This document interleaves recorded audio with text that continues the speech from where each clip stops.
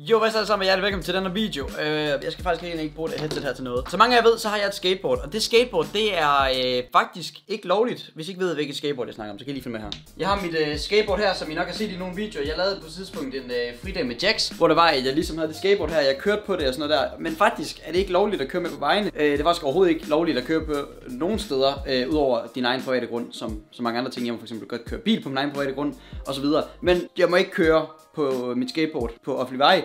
For eksempel, jeg har måske også set Futte og Ronny og sådan noget shit, da de også skal rundt på skateboard. Men faktisk, så må vi ikke køre rundt på det. Police get me somehow. Uh, men, things is changing a bit.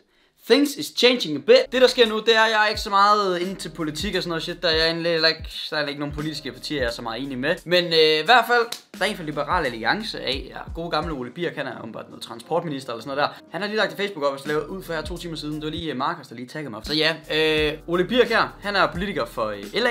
Han er transportminister. Så det har været altså sådan lidt styr, hvordan transportmidler og sådan noget, de skal fungere, og hvordan det skal reguleres og alt det der, kommer med forslag til det, og eventuelt forbedringer. Nu er jeg ikke så meget ind til politik, men jeg ved, at LA de er meget inden for sådan noget, meget, meget med de unge at gøre, ikke? Så de har været ekstra meget med de unge her, og de har faktisk gjort sådan, at det faktisk fra næste år bliver lovligt at købe de det her skateboard her. Der er kommet et statement her på øh, Oles Facebook-side. Øh, elløbehjul er en kæmpe succes i flere udlandske byer, men i Danmark er de forbudt i de steder, hvor færdselsloven gælder. Men ikke meget længere. Et bredt flertal, alle partier undtagen enhedslisten,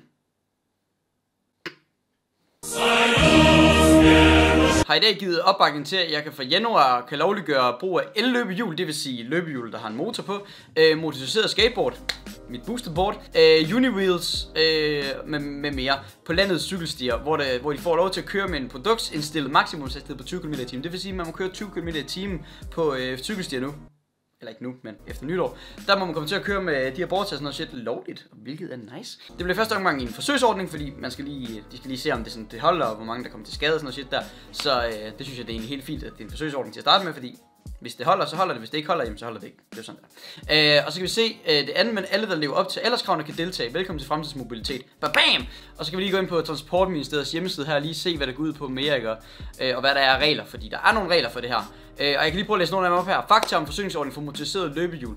Det er vi ikke så meget ind over, fordi motoriserede løbehjul, jo, de er fede nok, men øh, det er ikke lige det, som jeg sådan er all in på. Fordi jeg synes, skateboardsene, de er meget federe, fordi godt nok har du ikke lige så god balance med dem, kan man sige. De er lidt mere så mobile og rundt med, og lidt mere transportable, og så ser det også lidt fedt ud, man lige kommer og kører sådan en skateboard der, ikke? Der er damer i det, der er damer i det. Så, der står her fakta om forsøgsordningen for selvbalancerede køretøjer, f.eks. segboards og unibodies. Og jeg ved ikke helt, hvad jeg synes om det her med segboards, de bliver det, fordi jeg har trods alt en controller til mit øh, boosterboard, og den har ligesom mulighed for at kunne holde balance, selvom den er tændt eller slukket. Hvis strømmen går på et segboard midt ud på en vej, så dør du altså rimelig. Enten falder du hårdt ned på jorden og kan komme til meget til skade, og hvis du er uden, ude trafikken på et segboard, så kan det altså gå helt galt sammen. En lille sten kan det hele op. Så jeg er ikke så meget for, at segboards det er en ting, og uniwheels, det er den der enhjulede øh, transportting, der du kan stå på, lidt ligesom segboard, hvor du også kan holde balancen. Og det kræver, at motoren er tændt for, at du kan holde balancen. Det synes jeg, det er lidt, ah, den, den, det ved jeg ikke. Altså, det er ikke noget, jeg selv vil køre på. Jeg vil stærkt fraråde jer alle sammen at gøre det, fordi det kan godt være, det bliver lovligt, men ikke gør det. Motoriseret skateboard, det er ligesom, altså et skateboard kan du bruge uden motor på, og der kan du ligesom styre det uden motor. Så der vil jeg sige, det er fint nok, fordi hvis nu strøm går på dit skateboard, uden du ved det, for det er sket et par gange for mig, så har jeg altså mulighed for at stands op, og så slår den der så også selv ned. Den, den kan ikke bare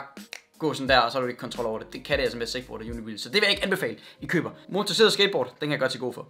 Husk igen. Men der står her i reglerne, kørsel med selvbalanceret køretøj, bla bla, til tilfælde føres på cykelsti. Så det skal køres på cykelsti, boosterboardet. Hvis vi går, vi snakker kun om skateboard nu. Øh, på vej inden for tættere bebygget område, som har en hastighedsgrænse på højst 60 km i timen, må køretøjen dog fyres på vejen, hvis der ikke er anlagt cykelsti. Det vil sige, at jeg bor i en by, hvor der for eksempel er... Der er ikke cykelsti over det hele, så der må jeg godt køre på vejen med det, hvilket er nice. Ved kørsel skal et selvbalanceret køretøj, monteret skateboard eller føreren her være udstyret med de samme lygter og reflekser som en cykel. Lygterne skal altid være tændt under og stå... Hvad? Lygterne skal altid være tændt under og også uden for lygtetændingstiden. Okay, så det vil sige, at man faktisk skal have lygter og reflekser på. Jeg har ikke rigtig... Har man reflekser på en cykel? Det ved jeg ikke, om der, der er lov for det. Man skal have en, øh, en front, en hvid frontlygte, og så skal man også have en øh, rød baglygte. Det kan godt være, at jeg skal købe det til mit board. Det burde jeg nok, fordi der er også vinter nu, så hvis jeg skal køre på det, i hvert fald om aftenen, så er det i hvert fald meget vigtigt, at jeg har det. Og på eftermiddagen, der er det sådan lidt, men, men i hvert fald, det er noget, jeg skal have skaffet, fordi der er ved at blive rigtig mørkt her om vinteren. Selvbalanceret køretøj og motoriseret skateboard, som må i forsøgsordningen køre maksimalt 20 km i timen ved egen kraft. Okay, så maksimum 20 km i timen, og det vil jeg sige, det holder man også ind i Aalborg, fordi der er det sådan lidt hardcore at køre 30 inde på cykelstierne, men, men når jeg er i den by, jeg bor i, hvor der sådan er meget, meget, hvad kan man sige, sådan vej uden så mange biler og sådan noget shit der, der er lidt langt ned til Spar, så kan man godt lige speede op en gang. Øh, selvbalanceret køretøj og motoriserede skateboards er ligesom den almindelige cykel underlagt færdselslovens almindelige aksomhedskrav og regler, at mens trafikken skal tilpasse hastigheden til forholdene med særlig hensyn til andre sikkerhed. Så det er sådan noget med, at du også skal stikke hånden ud til siden og sådan noget, når du, det, det gør jeg også selv, fordi det er også for mig en sikkerheds skyld, fordi man føler sig lidt mere udsat, når man står sådan bort der, og så er det altså lidt bedre, at man ligesom giver tegn til, medmindre ligesom nu skal så får man ikke blive kørt ned. Førerne af selvbalanceret køretøj og motoriseret skateboard skal være fyldt 15 år, så basically lidt ligesom en scooter. Men til gengæld, man skal ikke tage scooterkørekort. Man skal ikke have samme sikkerhedsudstyr til den. Man har nok en cykelhjelm liggende i forvejen. Du skal have en styrthjelm til en scooter, mener jeg. Som sagt, ikke kørekort. Der er ikke forsikring på alt det pisse der. Så i bund og grund synes jeg, det er bedre end en scooter. Til jer, der siger dig, at hellere købe en scooter. Du skal købe scooteren, betale for benzin til scooteren, du skal betale for forsikring til scooteren, du skal betale for kørekort til scooteren, du skal betale for øh, sikkerhedsudstyr til scooteren. En cykelhjelm har alle.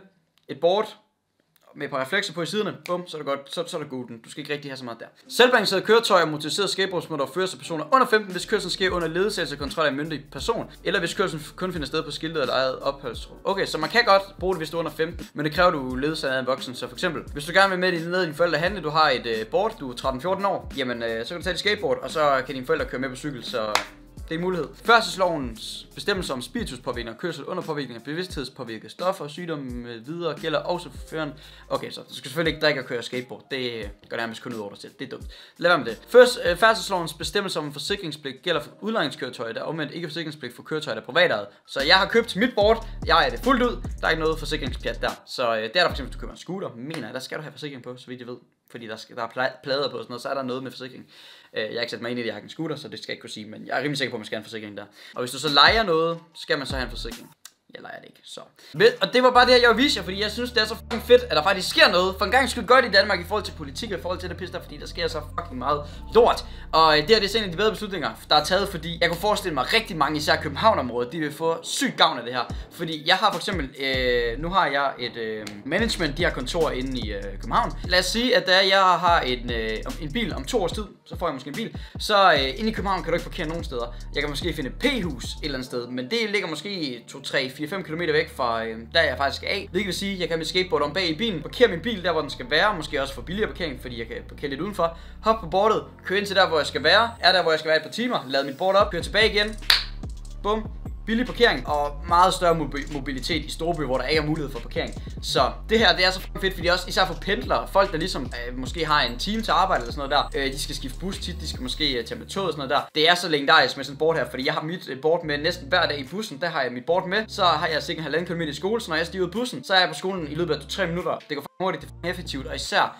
hvis man skal skynde sig om morgenen eller sådan noget der, måske har 5 minutter til at møde, og du har altså lige en halvanden kilometer til skole, så er det altså genialt med sådan et board der, fordi du kan ikke have en scooter med, du kan godt have en cykel med, men busserne om morgenen, de er rigtig, rigtig proppet. I S-tog er der også sygt proppet, tror jeg. Nu har jeg ikke lige oplevet en morgen i København, men jeg kunne forestille mig, at der er sygt proppet, og der vil det altså være lækker med sådan nogle boards her. Og de bliver så lovlige fra i det står der her ved top. På mødet fik medlemmerne en gennemgang af de indkommende høringssvar, og på den baggrund var der enighed om, at forsøgs, forsøgsordningerne bør i gang sættes i januar 2019. Så i januar 2019, hvis I efter nytår, der må man køre lovligt på de her skateboards her. Og jeg fucking glæder mig det ændrer ikke rigtig så meget nu for mig, fordi jeg kører måske lidt på dem stadig.